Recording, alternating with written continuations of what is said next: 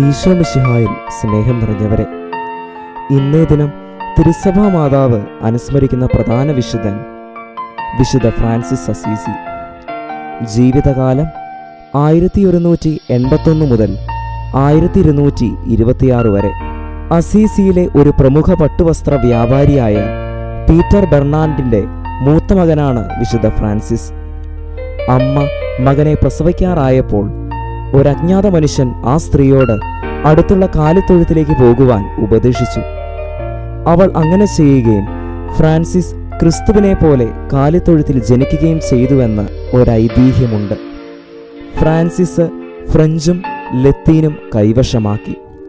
യുവമേളകളിൽ അദ്ദേഹം യഥേഷ്ടം പങ്കെടുത്തിരുന്നു. പിതാവ് ദാനധർമ്മം നിരുത്സാഹപ്പെടുത്തിയിരുന്നതിനാൽ ഫ്രാൻസിസിന്റെ പ്രഥമ ചലനം ഭിക്ഷുക്കളെ അവഗണിക്കുകയായിരുന്നു. എങ്കിലും ദരിദ്രരോടുള്ള അനുകമ്പ അദ്ദേഹത്തിൽ അന്തർലീനമായി കിടന്നു. ഒരിക്കൽ പിതാവിന്റെ കടയിലിരുന്ന പട്ടുവസ്ത്രം വിറ്റുകൊണ്ടിരിക്കുമ്പോൾ ഒരു കുഷ്ഠരോഗി സഹായം അഭ്യർത്ഥിച്ചു. അദ്ദേഹം അത് നിഷേധിച്ചു. പിന്നീട് പെട്ടിയിൽ നിന്ന് ഒരു പിടി പണം വാരിയെടുത്ത് ഭിക്ഷുവിന്റെ കയ്യിൽ ഇട്ടുകൊടുത്തു. ഭിക്ഷുവിനെ ആശ്ലേഷിച്ചു. വഴിയാത്രകളിലും ഈ സംഭവം ആവർത്തിച്ചിട്ടുണ്ട്. ഭിക്ഷുവായ കുഷ്ഠരോഗിയെ ആശ്ലേഷിക്കുമ്പോൾ വിശുദ്ധ കുർബാന സ്വീകരിച്ചാൽ എന്ന പോലെ ഒരനുഭവമാണ് അന്നുണ്ടായിരുന്നത്. ലൗകായതികത്വവും ദൈവസ്നേഹവും കലർന്ന ആ ജീവിതത്തിൽ കൂട്ടുകാരോടുകൂടെ ഉല്ലസിച്ചിരുന്ന ഒരു രാത്രി ഫ്രാൻസിസ് ദൈവത്തിന്റെ സ്വരം കേട്ടു. ആരെ സേവിക്കാനാണ് ഉത്തമം? യജമാനനെയോ ദാസനെയോ? യജമാനനെ തന്നെ എന്നയാൾ തീർത്തു പറഞ്ഞു. എന്നാൽ വീട്ടിലേക്ക് മടങ്ങൂ പിന്നീട് എന്ത് ചെയ്യണമെന്ന് അവിടെ ചെല്ലുമ്പോൾ അറിയിക്കാം. അങ്ങനെ പുതിയ ജീവിതം ആരംഭിച്ചു.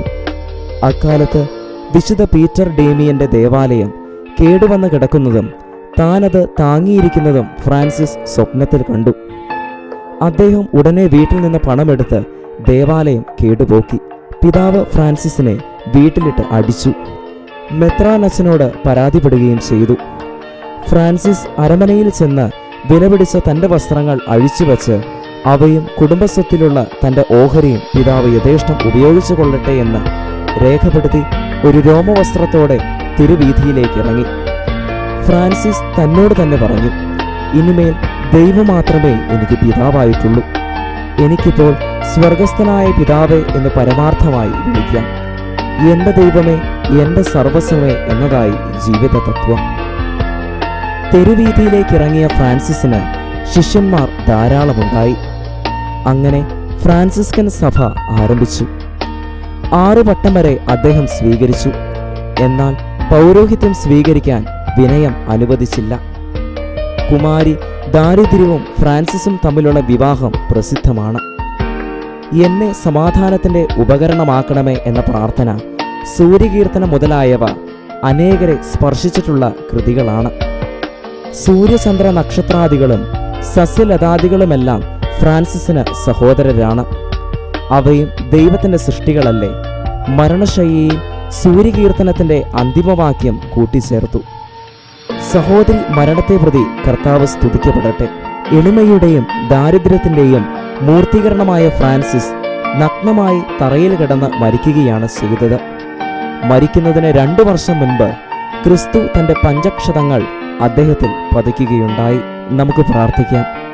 ഭൗതിക സുഖ സൗകര്യങ്ങൾ വെടിഞ്ഞ് ആത്മീയതയുടെ ഉന്നത പടവുകൾ ചവിട്ടിക്കയറിയ അസീസിയിലെ വിശുദ്ധ ഫ്രാൻസിസെ ലോകസുഖങ്ങളിൽ മുഴുകാതെ നാഥന്റെ വറ്റാത്ത സ്നേഹം നുകരാൻ ഞങ്ങൾക്കായി അങ്ങ് പ്രാർത്ഥിക്കണമേ.